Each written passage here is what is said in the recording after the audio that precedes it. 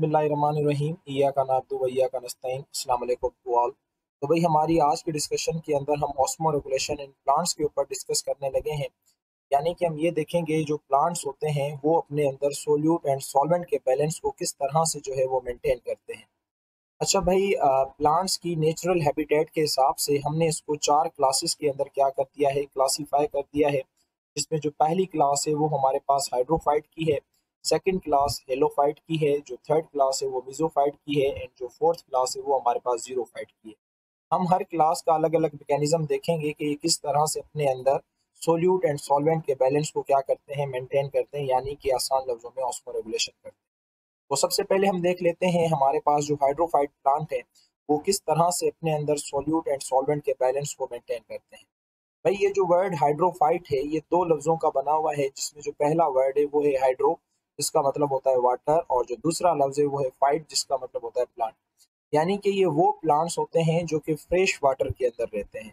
अच्छा पानी के अंदर रहने वाला जो प्लांट होता है ना, या तो वो कम्प्लीटली सबमर्ज होगा, यानी बिल्कुल पानी के अंदर होगा, या तो वो पार्शली सबमर्ज होगा, यानी कि आधा पानी के अंदर होगा तो आधा पानी के बाहर, जैसे आप इस इमेज के अंदर ये वाला प्लांट देख रहे हैं।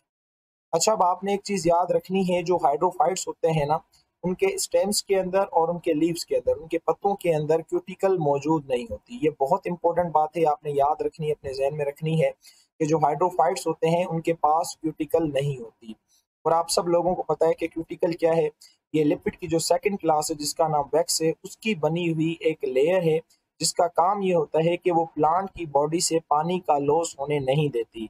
और आपने याद रखना है, ये वैक्सी लेयर जिसका नाम क्यूटिकल है, ये हाइड्रोफाइट के अंदर नहीं पाई जाती। अच्छा क्यों नहीं पाई जाती, अब हम थोड़ा सा समझते हैं।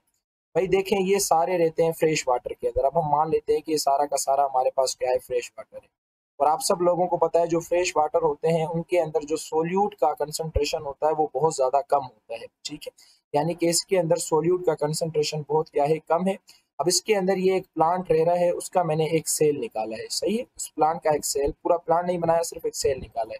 अब आपको पता है कि अगर हम सेल की बात करें तो इसके अंदर सोल्यूट ज़्यादा होगा as compared to their environment यानी ये जो फ्रेश वाटर है, यहाँ पे सोल्यूट कम है, लेकिन सेल के अंदर सोल्यूट क्या है? ज़्यादा है। और आप लोगों ने क्या पढ़ा था कि जहाँ पे भी सोल्यूट ज़्यादा होता है, वहाँ पे पानी क्या करता है? मूव करता है।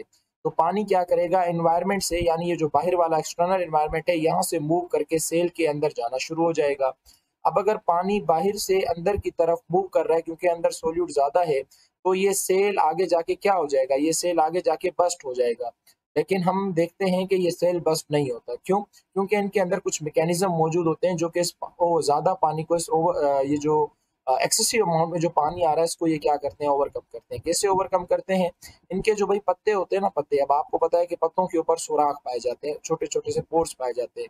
नॉर्मली पत्तों के वो सुराख नीचे पाए जाते हैं, जिन्हें आप स्टोमेटा कहते हैं। लेकिन आपने याद रखना है, जो हाइड्रोफाइट्स होते हैं ना, उनके जो सुराख होते हैं, उनके जो स्टोमेटा होते हैं, वो अपर सरफेस पे होते हैं। क्यों? क्योंकि ये ज़्यादा से ज़्यादा पानी जो है, वो अपनी बॉडी से बाहर निकाल सकें और अपनी ऑस्मो रेगुलेशन को मेंटेन कर सकें। तो इनके पास अगर क्यूटिकल होती, एक मिसाल है कि यहाँ पे अगर क्यूटिकल होती तो ये पानी को आसानी से नहीं निकाल पाते, नतीजे में इनका जो सेल है वो बस्ट भी हो सकता है। तो इनके पास ये क्यूटिकल मौजूद नहीं होती तो लिहाजा जितना भी ज़्यादा पानी आ रहा होता है, वो इनके स्ट्रोमेटा से बाहर जा रहा होता है। और मज़े की बात यह कि स्ट्रोमेटा नॉर्मली लोअर सरफेस पे होते हैं, इनके जो स्ट्रोमेटा होते हैं वो कहाँ पे होते हैं, वो अपर सरफेस पे होते हैं। तो इस तरह से ये जो हाइड्रोफाइट है अपने अंदर ऑस्मो रेगुलेशन को क्या करते हैं, मेंटेन करते हैं। तो यानी कि इनका अपना प्लांट का जो अपना अगर हम इन्वायरमेंट देखें तो उसमें सोल्यूट ज़्यादा होता है, यानी कि हैपाटोनिक होता है। और अगर हम इसके एक्सटर्नल इन्वायरमेंट की बात करें, जहाँ पे ये रहते हैं, वहाँ पे सोल्यूट कम होता है, यानी कि वो हमारे पास क्या होता है, वो हमारे पास हाइपोटोनिक होता है, ठीक है? और आपको पता है कि अगर यहाँ पे पानी सोल्यूट ज़्यादा है तो हाइपरटोनिक इन्वायरमेंट है तो बाहर से पानी इसकी बॉडी में अंदर आएगा। और जब बाहर से पानी इसकी बॉडी में अंदर आएगा तो हो सकता है ये सेल बस्ट हो जाए तो इस चीज़ को ओवरकम करने के लिए ये अपने पत्तों से ज़्यादा से ज़्यादा पानी बाहर निकालते हैं। कैसे निकालते हैं? एक तो इनके जो स्टोमेटा है, वो लोअर सरफेस पे नहीं है अपर सरफेस पे, ताकि ज़्यादा से ज़्यादा पानी बाहर जाए। दूसरा, इनके ऊपर क्यूटिकल नहीं होती, जो कि पानी को रोकती है। तो इस वजह से इससे इसकी बॉडी के अंदर एक्सेसिव पानी रुकता नहीं है, वो आसानी से बाहर चला तो यहाँ पे लिखा हुआ है कि their stomata are located on the upper surface हालाँकि रियल में लोअर सरफेस पे होते हैं और इसीलिए सिर्फ़ अपर सरफेस पे होते हैं ताकि ताकि ये ज़्यादा से ज़्यादा पानी को अपनी बॉडी से निकाल सकें। इसकी जो मोस्ट कॉमन हमारे पास एग्ज़ाम्पल है, वो हमारे पास वाटर लिली है। ये सामने वाला जो प्लांट आप देख रहे हैं, इसको वाटर लिली कहा जाता है। तो मुझे उम्मीद है कि हाइड्रोफाइट जो है, ये आप लोगों को समझ आ गए होंगे और इनके अंदर ऑस्मो रेगुलेशन भी समझ आ गई होगी। अच्छा नेक्स्ट हमारे पास जो प्लांट है, वो हमारे पास प्लांट है हेलोफाइट अच्छा ये भी दो लफ्जों का बना हुआ है। एक लफ्ज है हेलो जिसका मतलब होता है साल्ट एंड दूसरा लफ्ज है फाइट जिसका मतलब होता है प्लांट यानी कि ये वो प्लांट्स होंगे जो कि साल्टी प्लेसेस के अंदर रहते हैं तो ऐसे प्लांट को क्या कहा जाता है? हेलोफाइट्स देखो, ये भी पानी के अंदर रह रहे हैं हाइड्रोफाइट भी पानी के अंदर, लेकिन उनका जो पानी था वो फ्रेश है, इनका जो पानी होता है वो साल्टी होता है। अच्छा अब हम देखते हैं कि इस प्लांट के साथ मसला क्या है और ये इस मसले को किस तरह से कोप करता है। भाई, मान लेते हैं कि ये क्या है, इसका एनवायरमेंट है, सही है? यानी कि ये उस पानी में रह रहा है, उस एनवायरमेंट में रह रहा है, एक हेलोफाइट प्लांट है। और ये हमारे पास एक हेलोफाइट प्लांट है। अब आपको पता है ये साल्टी प्लेसेस में रह रहा है तो यहाँ पे जो सोल्यूट है, उसकी कंसंट्रेशन क्या होगी? ज़्यादा होगी। और अगर हम इसके सेल की बात करें तो यहाँ पे जो सोल्यूट की कंसंट्रेशन है, वो क्या होगी? कम होगी as compared to their environment यानी कि यहाँ का जो एनवायरमेंट होगा, वो क्या होगा? हाइपोटोनिक होगा, ठीक है? इसके अंदर सोल्यूट की अमाउंट क्या होगी? कम होगी।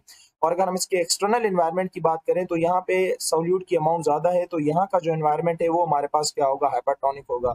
अब आप मुझे बताओ कि पानी कहाँ से कहाँ मूव करेगा? तो भाई, अभी हमने पढ़ा कि पानी हमेशा वहाँ मूव करता है, जहाँ पे साल्ट ज़्यादा होते हैं। तो जितना भी पानी इस प्लांट की बॉडी के अंदर मौजूद होगा, वो तो सारा निकल के बाहर आने लग जाएगा।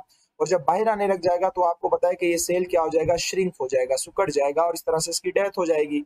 लेकिन ऐसा होता नहीं है। क्यों नहीं होता? क्योंकि ये कुछ मैकेनिज्म एडाप्ट करता है। वो खैर हम बाद में देखते हैं कि मैकेनिज्म कौन से हैं। पहले आप इस बात को समझें कि ये जो सेल है, इसका जो एनवायरनमेंट है वो हाइपरटोनिक है और जो सेल का एनवायरनमेंट है वो हाइपोटोनिक है। यानी यहाँ पे सोल्यूट की कंसंट्रेशन कम है और जो एक्सटर्नल एनवायरनमेंट है, यहाँ पे सोल्यूट की कंसंट्रेशन ज़्यादा है। तो सेल से पानी निकलना शुरू हो जाएगा और इस तरफ़ इसके एक्सटर्नल इन्वायरमेंट की तरफ़ बढ़ना शुरू करेगा।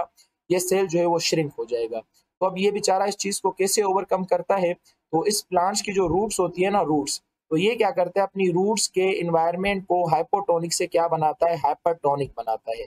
अच्छा हाइपो हाइपोटोनिक से रूट्स के एनवायरनमेंट को ये हाइपरटोनिक कैसे बनवाएगा? एक आसान तरीका है कि किसी तरीके से यहाँ पे जो रूट्स हैं, इसकी यहाँ पे साल्ट की कंसंट्रेशन को बढ़ा दे। तो साल्ट की कंसंट्रेशन को बढ़ाने का एक ही इसके पास तरीका है कि ये एटीपी खर्च करे, ये एनर्जी खर्च करे और एनर्जी खर्च करने के बाद इस पानी से साल्ट को अपनी रूट्स में लेके आए। तो ये एटीपी खर्च करके बेचारा पानी को अपनी रूट्स के अंदर लेके आता है और यहाँ का एनवायरमेंट ये क्या बना देता है? हाइपरटोनिक बना देता है। अब आपको पता है कि अगर यहाँ रूट्स के अंदर साल्ट ज़्यादा होंगे एनवायरमेंट हाइपरटोनिक होगा तो यहाँ पे पानी खींचा चलाएगा। तो ये क्या करते हैं, इस तरह से एटीपी खर्च करके अपने रूट्स के एनवायरमेंट को हाइपरटोनिक बनाते हैं, ताकि एक्सटर्नल एनवायरमेंट से पानी इनकी बॉडी में आता जाए। तो इस तरह से पानी को अपनी बॉडी के अंदर क्या करते हैं इंटर करते हैं। अच्छा देखें इन्होंने पानी को बॉडी के अंदर इंटर तो कर दिया, लेकिन वो पानी दोबारा बाहर चला जाएगा, क्योंकि दोबारा बाहर इन्वायरमेंट हाइपरटोनिक है। तो ये बेचारे क्या करते हैं, इस चीज़ को ओवरकम करने के लिए, पानी को अपनी बॉडी में कंजर्व करने के लिए, इनके जो पत्ते होते हैं ना, उनके एक तो स्टोमटा कहाँ होते हैं? लोअर सरफेस पे। क्यों? क्योंकि ताकि ज़्यादा से ज़्यादा पानी बाहर ना जाए, क्योंकि इनको पानी को कंजर्व करना होता है। एक तो ये। दूसरा, इनके जो पत्ते होते हैं ना उनके ऊपर वो वैक्स की लेयर जिसका नाम अभी हमने थोड़ी देर पढ़ा क्यूटिकल जिसका नाम है, वो इसके अंदर मौजूद होती है।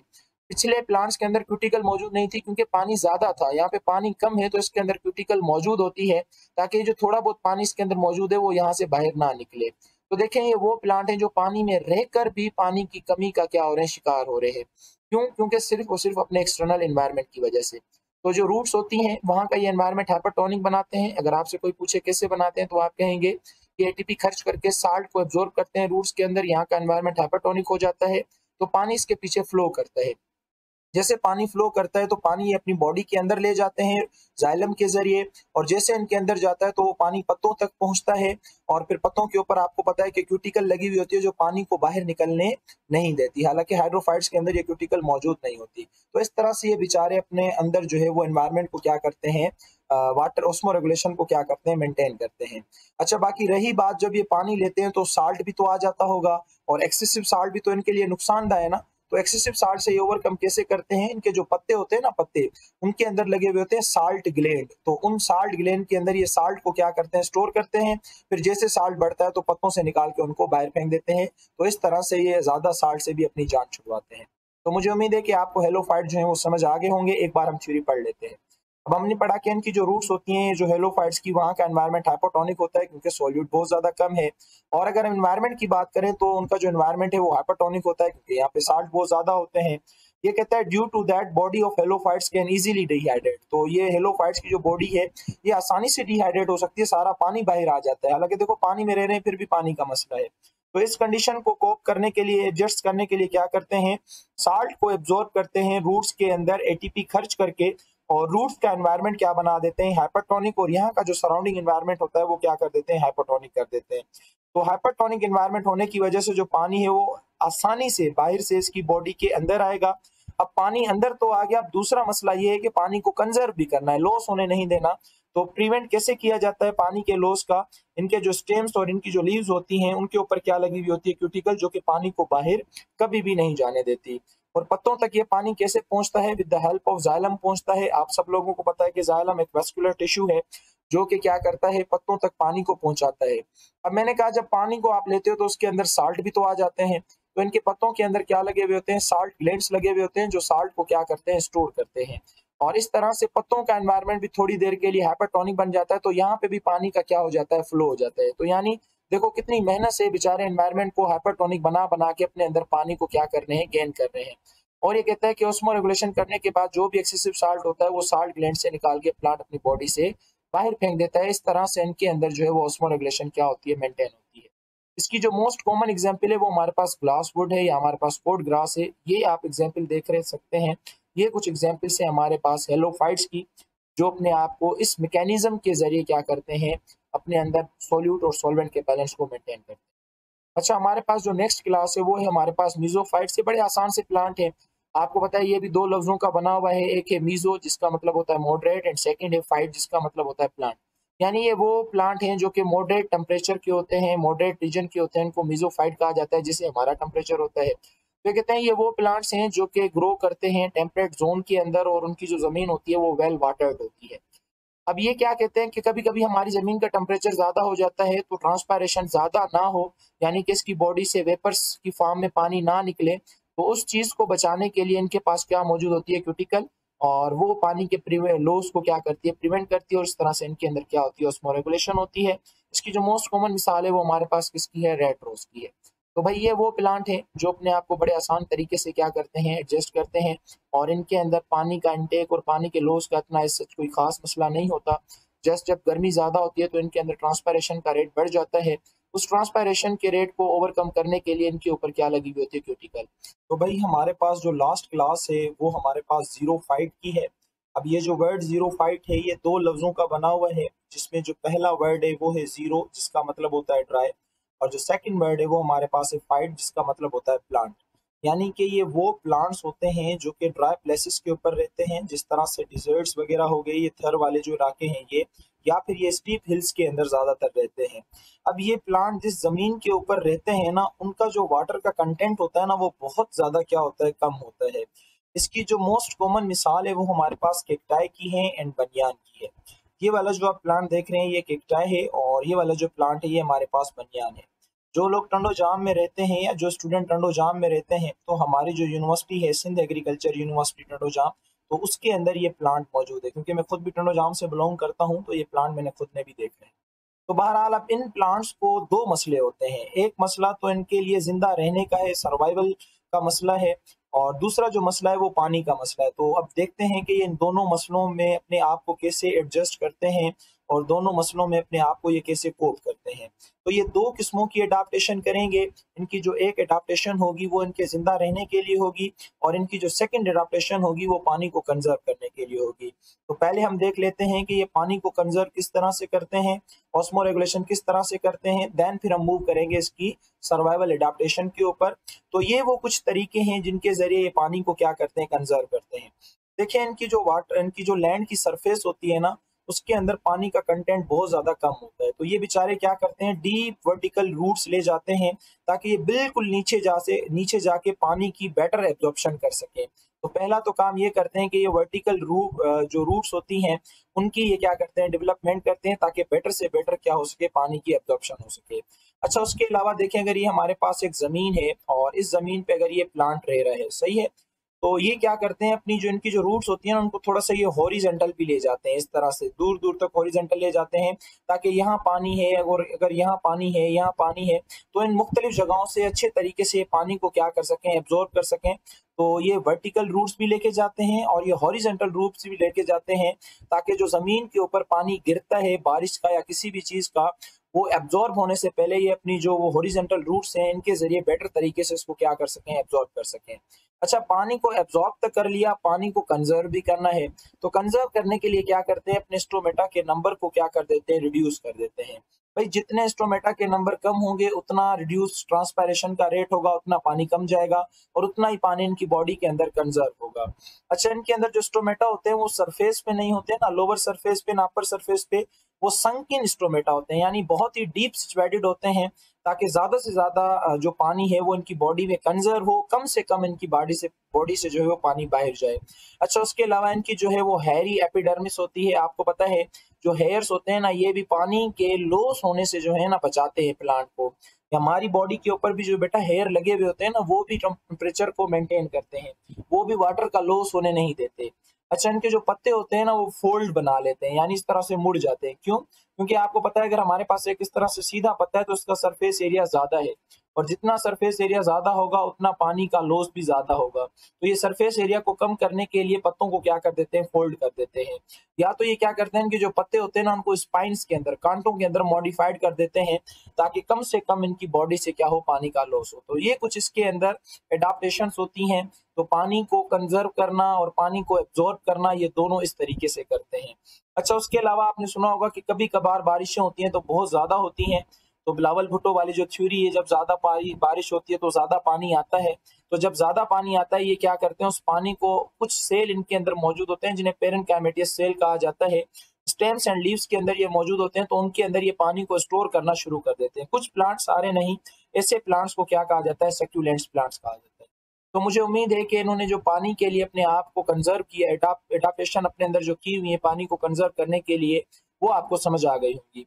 अच्छा आप बात रही सर्वाइवल की तो सर्वाइवल के लिए बेचारे क्या करते हैं? सर्वाइवल के लिए करते हैं कि ये बहुत सारी अमाउंट के अंदर क्या करते हैं? स्पोर्ट्स प्रोड्यूस कर देते हैं। और इन स्पोर्ट्स के ऊपर ये एक हार्ड बोर्ड चढ़ा देते हैं, जो कि ड्राफ्ट रेजिस्टेंट होती है। टेम्परेचर रेजिस्टेंट होती है, जो भी टेम्परेचर हो कंडीशन जैसी भी हो, फिर भी ये स्पोर्ट्स जो है, ये सारी ज़िंदगी स्पोर्ट्स ही बना रहेगा। और जिस तरह से बारिश वगैरह आती है तो ये हार्ड कोट को हटाते हैं और फिर ये क्या करते हैं स्पोर्ट्स जो है, दोबारा प्लांट में क्या हो जाते हैं कन्वर्ट हो जाते हैं। इस तरह से अपनी लाइफ साइकिल को, अपने सर्वाइवल को क्या करते हैं मेंटेन करते हैं। मुझे उम्मीद है कि ओस्मो रेगुलेशन का जो कंप्लीट टॉपिक है, ये आप लोगों को अच्छे तरीके से समझ आ गया होगा। आप लोग इसको पढ़ें, समझें, जहाँ भी प्रॉब्लम होती है, आप कमेंट बॉक्स में आके मुझसे पूछ सकते हैं। तब तक के लिए अल्लाह हाफिज़।